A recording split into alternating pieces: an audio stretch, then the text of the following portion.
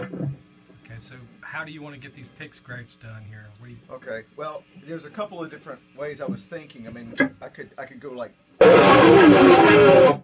or or we could I could try the underhand. that was out of Which, key which there. way do you feel like it is? One of them sounds a little flat.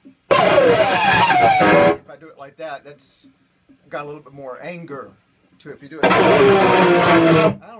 That's that's, definitely happier. Grumpy. That's happier sounding there. that's happier sounding, It's not a- grumpier sounding? Um, Which way do we? It's a happy kind of grumpy. it's kind of a moderate happy grumpy. It's like happy, but not really happy. Try it again. Like